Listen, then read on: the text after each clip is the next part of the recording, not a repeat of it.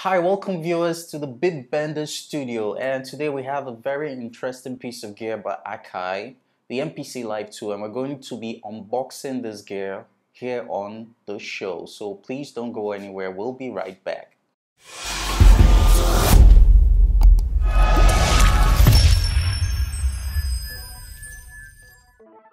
Alright, you're welcome back to this amazing channel and uh, so I'd like to introduce myself. My name is Amos Kantiok. I'm a music producer and I've been doing production music for professionally for over 10 years. So I, I know a lot of my gear and I've been using Akai. Well, not this version. I've used the MPC 3000. I mean, that's one of the baddest babies in the market. You know, there's the MPC 2000, 3000, 4000, there's the 5000, there's the MPC X, you know, and so in today's video, we're going to be looking at how it all compares to this. This is the new Akai MPC Live 2. And one of the most standout things about this is it is stand alone. Like you heard that right. Like you can just pull it out of the box and just get working without plugging into anything, right? It is battery powered. It is, I mean, it's just a wonderful piece of gear. So yeah, so we're gonna dive and we're gonna be unboxing this piece of gear that we just got like for Bitbender Studio. And I want you to dive right in with us right now. So let's go in, right?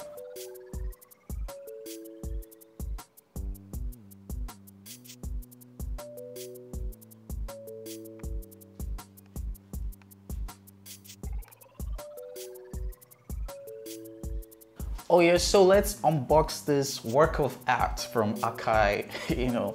All right, so here we go. Right, wow, this is lovely. You can see like, man, look at all this. This is just, this just gives you an overview of what you're expecting, right? So yeah, we can see this is very nice rugged packing. This is, uh, I guess, the instruction manual. Please, yeah, always read the instruction manual right? I know we as producers and whoever, we just buy the stuff and we just want to dig in. And then when you hit a roadblock and be like, oh yeah, they have an instruction manual. Hey, always read this. So, but for now, let's keep this somewhere safe, right? I'll keep it on my monitor. All right, you can see the build is very nice. The packaging is so amazing. Yeah, it's quite portable, right? Very portable. That's, oh, that's the uh, power cable. It dropped off power cable. So let's take off the styrofoam packaging, right? We have this here. And, oh yeah, there's something here before I drop it. I think the power supply, this is the power supply, PSU power supply unit, right? Skip it here, we have this here. Also, it comes supplied with uh, the USB cable, right, to plug in to your computer. This connects the MPC Live to your computer right? Good. Um, so now let's uh, take this up, right? Uh -huh. Okay, this is rugged, rugged, rugged, rugged, rugged. Here we go. Huh, such a baby right? It's an amazing piece of gear. I mean, it's so portable. Now you can, this is just to give you a reference for the size, like you can see. Let me hold it arm's length, right? You can see. Now look at this. This is, it comes, uh, so let's talk about the features that it comes with. This is like an inbuilt studio monitor. This grill feels rugged and of course, we're gonna do another video where we put this into use and you can actually hear the sound of this baby, right? But right now, this is what you know. It comes with an inbuilt speaker. So wherever you are, you can just plug in. Of course, you can turn it off, right? So you don't disturb people when you don't have to because they're headphones as well. You can turn the speakers off, but this is, comes in very handy when you're in a hotel or something. You just wanna work on some ideas. It comes in very handy. Right, now this is the 7 inch TFT screen, right? Amazing from Akai. It's just, it's amazing. Using this screen and combination of knobs that you have here and buttons makes your workflow very easy from Akai. Also, of course, if you've used an Akai before, you're familiar with their pods. It's one of the best in the industry. These pods, by the way, are RGB pods, meaning they are color coded, right? It helps you walk around easy, right? So it's not like the other MPCs that just had the beer pods. These ones are color coded, so they're RGB pods and it's amazing. So now let's flip to the back. I think we've we've covered the front of the screen. Like this are this is your master level in terms of volume, and these are your pad banks A, B, C, D, E, F, G. If you have up to H right now right? Which is a lot of control, a lot of parts to go through. Now let's flip this over. Yeah, this is where it shines. The connectivity is, is crazy. There is a lot going on, I assure you, a lot. First off, you have the power button. How to use it, you have to turn it on, right? So yeah, you know what that means. Next is the PSU plugin, yeah, to supply. Now, I don't know if I mentioned, this is battery powered, right? But you can plug directly into the power supply unit to give it DC supply. Now, when you take it off, there's an inbuilt battery. It's a rechargeable battery, so it, you can work without being plugged into the power supply. That's awesome. I mean, only that feature alone, I'm, I'm already in love with this guy, you know, so then we have what internet connectivity, we have the LAN, we have the Q-Link. Now this is amazing. For those of you producers that have subscription on Splice and stuff like that, you can easily connect your Splice account, get your samples and bring them here into this guy. Why? Because this guy has a 16 gigabyte onboard storage, right? 16 gig, that's a lot. And you can also expand it, don't forget you can expand using all the various SATA drives and there's also an SD card. Okay we're coming there. You see that. Now you have USB connectivity. This connects to your computer right? This one connects right to your computer. There's other USB ports where you can plug in your external drives your thumb drives whatever it is you name it you have it right? Next up familiar with this? These are the MIDI inputs and outputs five pin MIDI and outputs. So what this means is that you can have two devices running concurrently or two MIDI control devices connected to this device. So you can have, say, uh, a Yamaha Motif on one, you can have uh, a Moog synthesizer on the other. You know, however you set up is left entirely to you, but this is awesome because you can plug multiple MIDI devices. Now up here you can see the SD card. This is more storage for you so you can store your projects, your files, your songs, whatever it is that you're working on.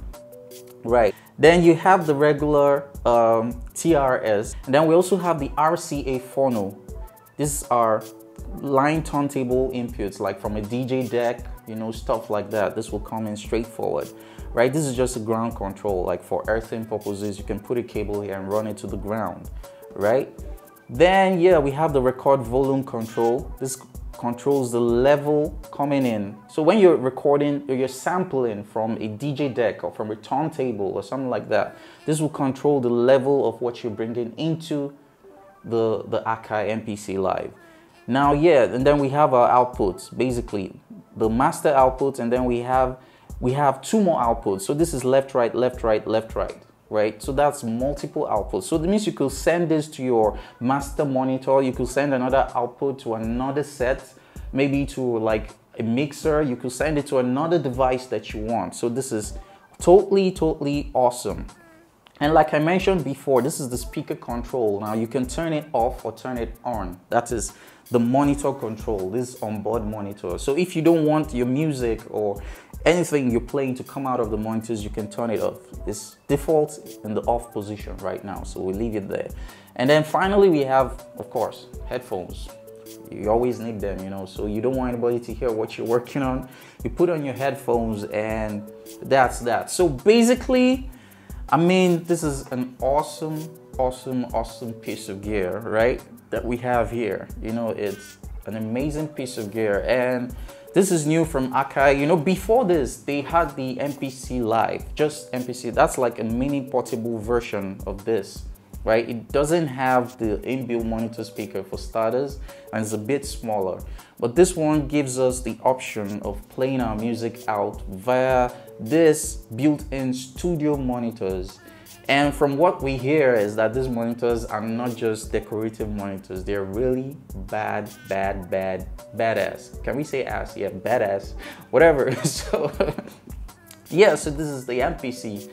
And right, the bottom of the MPC, right? This is where we have it. This is the expansion. There's an expansion slot here where you can add your drive.